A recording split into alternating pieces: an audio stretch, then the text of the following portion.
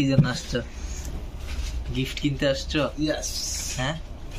স্বর্ণ কিনতে আসছো? আমরা সবাই মিলে আসছি স্বর্ণ কিনতে। দীপকার বিয়ের গিফট হিসেবে। ঠিক আছে? আপনারা যারা যারা দেখতেছেন ভিডিওটা তাদের বিয়ের দাওয়াত যদি দেন আমাদেরকে এরকম আমরা স্বর্ণের আংটি অথবা কানে না, এটাই আমরা এখন কে আসছে? আচ্ছা তুই কে আগত ঠিক আছে আংটিটা অলরেডি কিনে শেষ। কালকে তো আমি টাকা দিয়ে নিয়ে টাকা দিচ্ছি। না এটা এটা অ্যাডভান্স অ্যাডভান্স এটা অ্যাডভান্স আর জিনিস হচ্ছে এটা। এটা দিয়ে তারপরে নিয়ে যাব।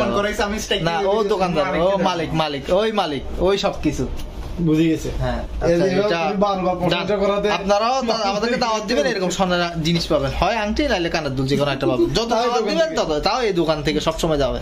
এগুলা বাইশ ক্যারেটের, এগুলা কম নাই। তো প্রোগ্রামের দিন সকালবেলা আমরা সবাই এসে গেছি ক্লাবে। কেন এখানে রান্না বান্না হচ্ছে, এখানে দেখাশোনার কিছু ব্যাপার স্যাপার আছে। কেননা কেউ যদি না থাকে, কাজ ঠিক মতো হয় না, তো আসলাম এখানে কি অবস্থা, না অবস্থা, এগুলো তদারকি করার জন্য জিনিসপত্র যা যা লাগছে, তা তা নিয়ে আসলাম। আর এটা হচ্ছে মূলত বন্দরের রিপাবলিক ক্লাব, এটা হচ্ছে বয়েজ স্কুলের পাশে। ছোটোবেলায় ওই অপোজিটে দেখা যাচ্ছে লালটার পাশেরটা, ওইটা হচ্ছে আমাদের বয়েজ স্কুল ওই স্কুল থেকে আমি পড়ালেখা করে বেরিয়েছি তো ছোটোবেলায় এটার এত স্মৃতি ছিল এখানে, বলার বাইরে স্কুল ছুটি দিলে বা টিফিন টাইমে এখানে এসেই বসে থাকতাম। আর এখানে প্রচুর পরিমাণ জাম গাছ বা এই কাঠবাদাম গাছ ছিল, যার কারণে আইসে খাইতাম সবাই মিলে। তো যাক, সন্ধ্যা হয়ে গেল, সবাই মিলে রওনা দিলাম দলে দলে ক্লাবের উদ্দেশ্যে। কেননা আজকে গায়ে হলুদ, সবাই একরকমের আমরা পাঞ্জাবি পরছি। দেখতেও ভালো লাগতেছে সবাই হুন্ডা নিয়ে যাচ্ছিলাম ক্লাবের জন্য। তো আমার সাথে আমার বন্ধু পুরো হুন্ডা চালাতে চালাতে টাঙ্কির উপর উঠে গেছে গা। কেননা তিনজন নিয়ে চালানো তা এত সহজ না। পরে এসে গেছি আমরা আমাদের গন্তব্যস্থল রিপাবলিক ক্লাবে তো ঢুকতেছি। পাশ দিয়ে হাইটে যাচ্ছিল আমাদের রকুন ভাই। দেখা যাচ্ছিল ওনাকে। তো ছোটো ভাইরা ওই শহীদ মিনারের মধ্যে বসে আছে। তারা হাই দিচ্ছে। বলছে, ভাই, আসছেন আসছেন। তা আমরা বলতেছি হ্যাঁ আসছি আসছি। তো সবাই মিলে আসলাম আমরা। জনমানব নাই এখনও কেউ ঠিকভাবে আসে নাই। আমরা খুব আর্লি আসছি তো, সন্ধ্যা হইতেই দেরি, আমরা এসে গেছি গা কেননা মোটামুটি বলতে গেলে বন্ধুর বিয়ে, তো আমাদেরকে করতে হবে। আমার বন্ধু জুয়েল দুষ্টামি করতেছে এখানে। আমি ভিডিও করতেছিলাম ভিডিওর মাঝখান দিয়ে সে ঢুকে গেছে। তো সবাই মিলে ভিতরে ঢুকলাম, ঢোকার পরে যাতায়াতে তো খাওয়া দাওয়া করতে হবে, কেননা প্রোগ্রাম আছে, ওখানে ব্যান্ডের প্রোগ্রাম হবে। তো ব্যান্ডের প্রোগ্রাম তো নাচানাচি হবেই, না নাচলে কি আর হয়? তো যার কারণে এনার্জির দরকার। তো সবাই মিলে আমরা খাওয়া দাওয়া করতে বসে গেছি। বন্ধু বান্ধব যারা আছে, সবাই রাশের বন্ধু সবাইরে সার্ভ কইরা দিচ্ছে। ও আবার খুব এক্সপার্ট খাওয়া, ও নিজে খাওয়ার আগে সবাইরে সার্ভ কইরা দেয়। সব সময় এই জিনিসটাই করে ও। জিনিসটা অনেক ভালো লাগে। তো আমাদের খাওয়া দাওয়া শেষ। তো শেষ করার পরে পুরা ক্লাবের একটা ভিউ নিচ্ছিলাম। এটা মূলত স্টেজ জামাই এখনও উঠে নাই। তো উঠবে। আর এই ডেকোরেশন যেটা, এটা আমাদের ছোট ভাই কৌশিক করছে। ওর ডেকোরেশন কাজ খুবই ভালো।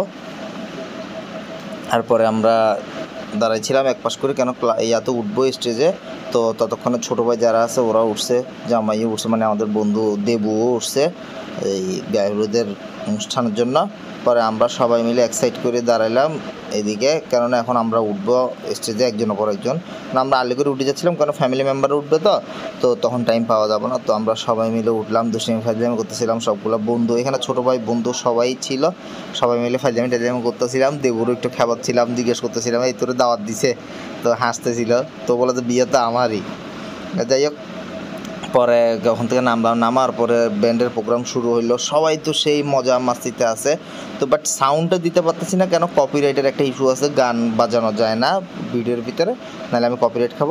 তো সবাই খুবই এক্সাইটেড ছিল, সবাই দেখেন চিল্লে চিল্লে একত্রিত হয়ে গান গাচ্ছিল প্রথম শুরু তো, ওই জন্য পরবর্তীতে অনেক এক্সাইটেড হয়ে যাবে, নাচবে ধুমধারাক্কা তো ভালোই লাগতেছিল সবাই একসাথে, ছোট ভাই ব্রাদার তো আস্তে আস্তে সবাই গরম হয়ে যাচ্ছে। আমার বন্ধু, ছোট ভাই যারা আছে ও কি নাচ উল্লাল্লাহ উল্লাল্লাহ নাচ দিচ্ছে তারা।